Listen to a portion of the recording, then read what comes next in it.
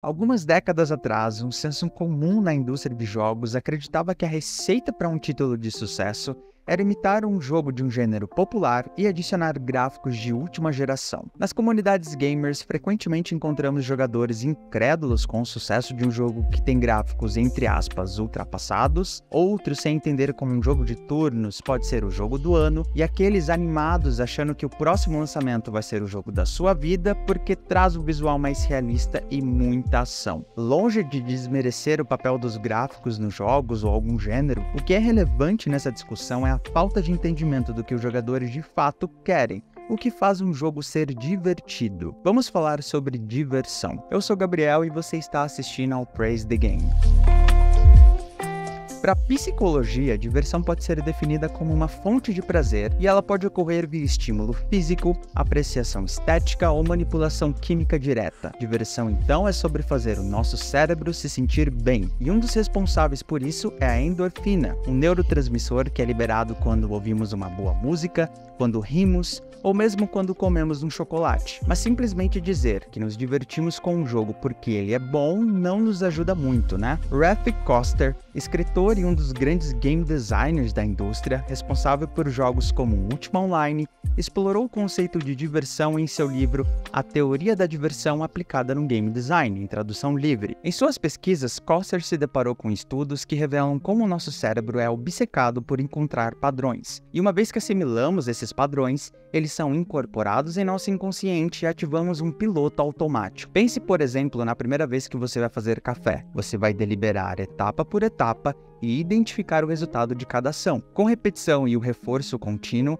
esse processo logo se torna um hábito e você para de conscientizar cada detalhe nas próximas vezes. Esse comportamento fica muito evidente quando pensamos em um jogo. Para vencermos ou alcançar um objetivo em um jogo, precisamos identificar e assimilar padrões. Se trata então de um processo de tentativa e erro até acertar. Portanto, é um processo de aprendizagem. Um outro neurotransmissor que nos faz sentir bem é a dopamina, que está relacionado à antecipação de uma recompensa. Uma das ocasiões em que ela é liberada é quando nos dedicamos a aprender ou dominar uma tarefa. Afinal, aprender é um aspecto essencial de nossa sobrevivência enquanto espécie e por isso é uma recompensa em forma de prazer que nos faz querer continuar aprendendo. E que forma melhor de aprender se não jogando? Jogos oferecem um ambiente seguro e virtual que o historiador Johann Huizinga nomeou de círculo mágico, em que existem regras abstratas e não há consequências negativas reais quando erramos. Mesmo os animais aprendem brincando. Bom, esse não é um conceito estranho para nenhum jogador. Por muito tempo, jogos foram reconhecidos por serem atividades em que vencemos desafios. Em Mega Man X, precisamos derrotar o vilão Sigma, um androide que está executando um plano de revolta contra os humanos. Para isso, precisamos dominar mecânicas como pular, atirar, deslizar e escalar.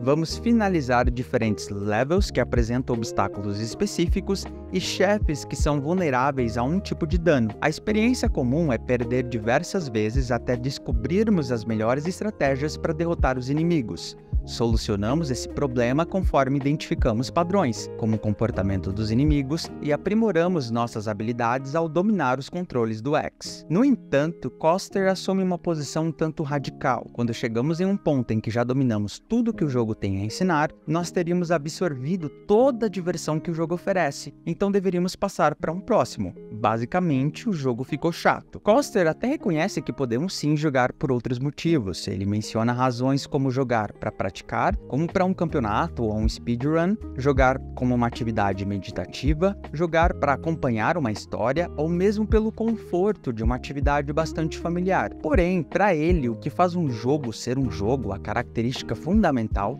é ser um sistema de aprendizagem. A ideia é reconhecer padrões e dominar habilidades dentro desse sistema. Portanto, para um jogo ser divertido, é essencial que ele nos ensine coisas. Não deveríamos continuar jogando um jogo quando aprendemos tudo. A Teoria da Diversão foi um livro lançado em 2002, mais de 20 anos depois. Surgiram diversos jogos e até gêneros que fogem do típico jogo que quer desafiar nossas habilidades, muito prevalente naquela época. Títulos como Flow, The Stanley Parable, Her Story, A Short Hike, entre muitos outros. Enquanto alguns desses até oferecem desafios simples, outros sequer incluem habilidades imprescindíveis para uma progressão, ou seja, não estamos exatamente aprendendo e melhorando, mas ainda assim continuamos jogando.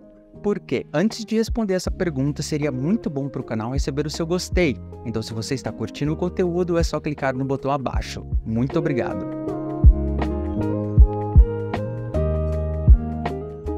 Paralelamente à publicação da teoria da diversão, também surgiam à época outros estudos que visavam entender os jogos não por si mesmos, mas pela perspectiva do jogador. Esses estudos queriam entender o porquê nós jogamos. É desse cenário que se destaca a pesquisa encabeçada por Nicole Lazaro, e ela compartilha os resultados dessa pesquisa em um documento intitulado Por que jogamos? As quatro chaves para a emoção sem histórias. Nicole é uma desenvolvedora que estava interessada na experiência do jogador. Ficou claro para ela que os jogadores se sentiam engajados com um jogo quando havia uma resposta emocional. Adicionar uma narrativa com certeza abre um leque de emoções mas como jogos podem emocionar sem depender de uma história? Nicole então montou um experimento para identificar primeiro as emoções que sentimos quando jogamos, e depois de observar grupos de pessoas jogarem jogos de todos os tipos, os pesquisadores conseguiram associar os momentos favoritos de cada um dos participantes a uma série de emoções. O resultado desse experimento revelou que as pessoas jogam essencialmente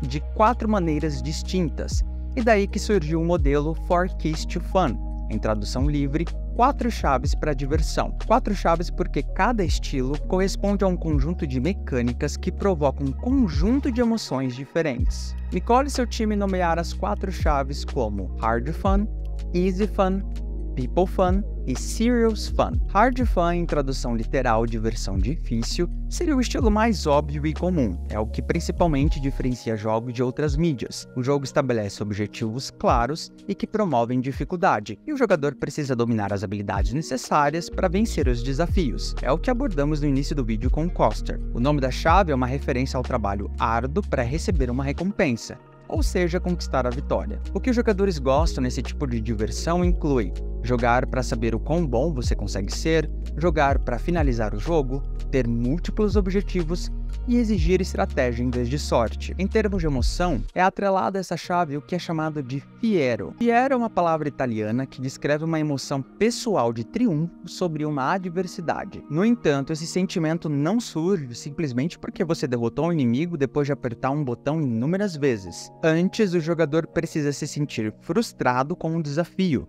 ter suas capacidades testadas até ele finalmente alcançar a vitória. Aí uma sensação de alívio toma conta e o jogador se sente bem consigo mesmo. Podemos escrever esse ciclo com um começo mais parado e fácil em que o jogador conhece o ambiente, aprende as mecânicas básicas, passa a se frustrar com um desafio difícil e experiencia Fiero assim que vencê-lo, e a experiência se repete. Acredito que você já tenha percebido que quando você derrota um chefe, que é sempre um grande desafio, o jogo fica mais fácil por um breve período. Isso colabora para o alívio do jogador ao fazê-lo se sentir mais confiante. Fica claro então que a principal mecânica promovida por essa chave envolve maestria.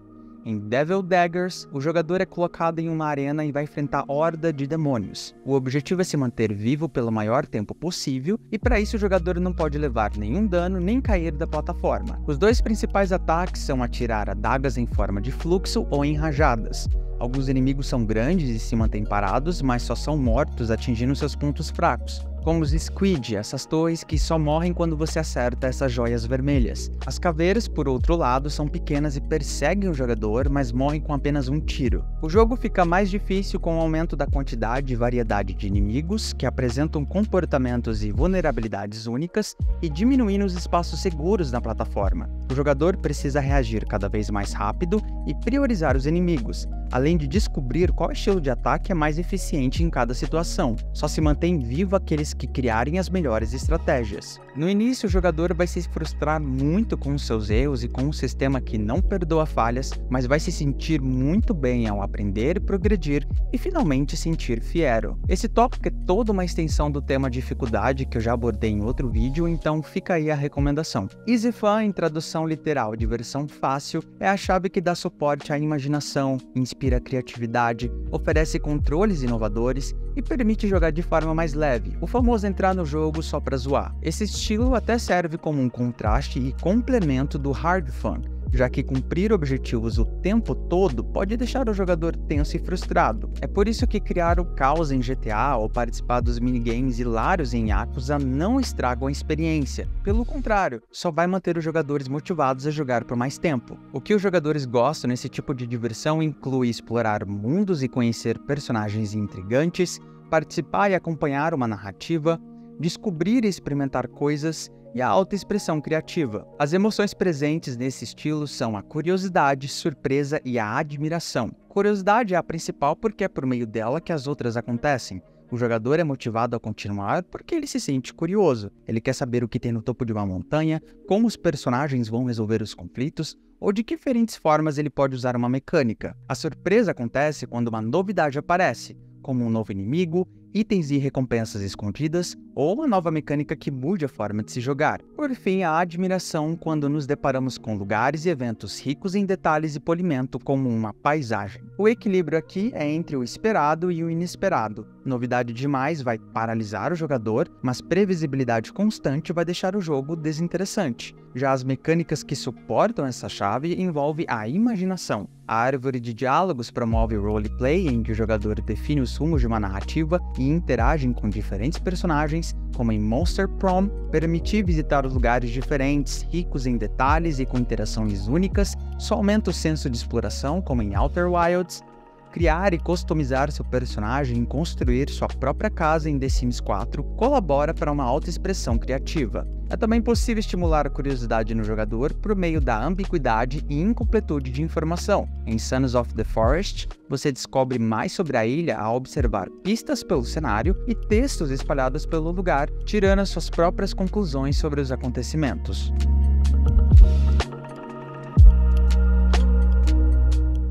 Serious Fun, em tradução literal de versão séria, como o próprio nome sugere, é um estilo que oferece experiências que transformam a maneira que os jogadores estão se sentindo, pensando ou se comportando, mas não no sentido de abordar temas complexos e maduros. São jogos que causam um relaxamento depois de um dia de trabalho cansativo, que estimulam o intelecto e fazem os jogadores se sentir mais inteligente ao abordar puzzles e repassar conhecimentos, ou mesmo que fazem o jogador praticar exercícios físicos e perder peso ao exigir movimentos corporais. O que os jogadores gostam gostam nesse tipo de diversão inclui concluir levels como uma forma de limpar a mente, se sentir bem consigo mesmo como atividade relaxante, evitar o tédio ser melhor em alguma coisa que realmente importa. As emoções que se destacam aqui são entusiasmo e relaxamento. Embora esse último não seja exatamente uma emoção, vamos pensar no sentido de sensações. É comum que os jogadores que procuram esse tipo de diversão se sintam estressados com alguma coisa na vida real ou entediados. Então, por meio de estímulos visuais e sonoros, é possível colocar o jogador num estado mais zen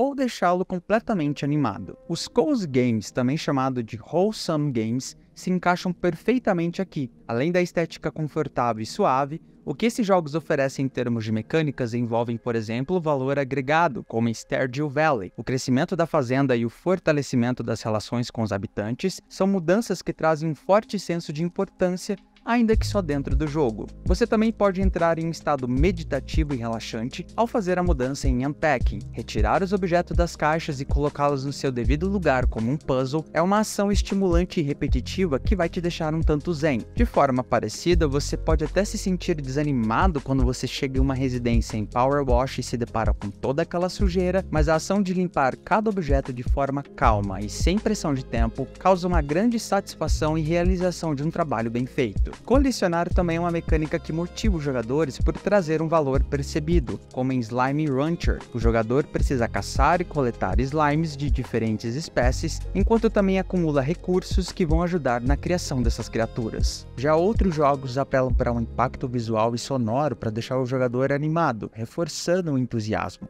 como em Sayonara Wild Hearts. Vale mencionar que existem jogos que tentam provocar uma mudança externa no mundo real. Tilt World foi um jogo de celular criado em parceria com a WeForest, uma organização sem fins lucrativos que trabalha com reflorestamento. Conforme os jogadores acumulavam uma quantidade específica de pontos no jogo, a organização plantava árvores em Madagascar. E por fim, People Fun, que faz referência à diversão entre pessoas. Essa chave promove a socialização e por isso potencializa todas as emoções encontradas nos outros estilos. A diversão surge com jogadores adicionando novos conteúdos, trabalhando em equipe, competindo entre si e provocando e rindo um dos outros. Um dado bastante interessante da pesquisa é que quando pessoas se reúnem para jogar alguma coisa, mesmo que alguém do grupo não goste do jogo em específico ou não goste de jogar de maneira geral, essa mesma pessoa acaba cedendo e participando justamente porque quer passar um tempo com seus amigos. As emoções que permeiam esse tipo de diversão abrangem gratidão e generosidade,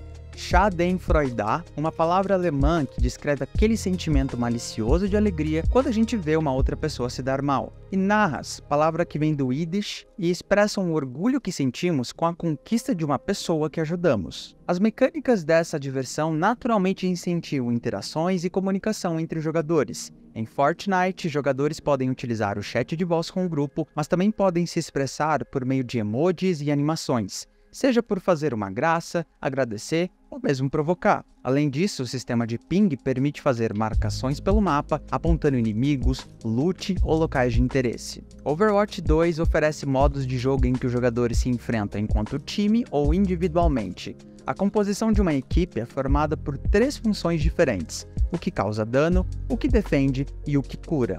Atribuir mecânicas específicas para cada papel é uma forma de incentivar o trabalho em equipe e desencorajar aqueles que acham que pode jogar sozinhos. Um tanque naturalmente aguenta sofrer mais dano, mas ele só vai ser eficiente se ele receber cura constante de um healer. A mesma ideia é aplicada em It Takes Two, para os jogadores prosseguirem, eles precisam combinar mecânicas únicas de cada personagem para vencer um desafio, quando como Cold precisa lançar pregos nas paredes para que a Mei balance neles usando um martelo. Em MMOs como Senhor dos Anéis Online, você pode formar grupos com outros jogadores para cumprir objetivos em comum e negociar itens por meio de escambo ou compra e venda, além de poder dar como um presente. Jogadores que se tornam amigos podem criar fellowships, uma forma de grupo mais persistente em que membros experientes ajudam os novatos, promovem eventos e celebram conquista de seus membros, e se reúne para enfrentar desafios em grupo, como as raids, em alguns casos, uma fellowship pode criar rixa com outra e aí surgir uma competição direta. Vale notar que laços sociais também acabam se formando de certa forma com aqueles NPCs que se tornam nossos companheiros. A ideia é que eles mais colaborem do que atrapalhem, mas não tanto a ponto de deixá-los vencer os desafios no nosso lugar. Recomendo meu vídeo sobre a Ellie do The Last of Us. É fundamental entender que os jogadores podem alternar entre esses estilos durante o mesmo jogo. É por isso que jogos que oferecem mais estilos têm mais chances de alcançar um público mais diverso. Inclusive, jogos de grande sucesso geralmente incluem três das quatro chaves, mas não existe receita pronta. Dark Souls é um exemplo de que, apesar do hard fun ser predominante, ele consegue oferecer várias emoções de outras duas chaves, mas eu vou deixar vocês identificarem sozinhos e compartilhar nos comentários. Espero que com a apresentação desse modelo você passe a se entender melhor enquanto jogador, mas também saiba identificar e aplicar no game design mecânicas que provoquem essas emoções e experiências, e claro, claro, por que não buscar por novas? Gráficos certamente auxiliam com o estímulo visual, mas nunca serão suficientes, porque são apenas uma roupagem, uma superfície que cobre o mecanismo abaixo. Parafraseando Masahiro Sakurai, criador do Kirby, gráficos podem não ser a fonte de diversão, mas certamente é um multiplicador quando bem aplicado.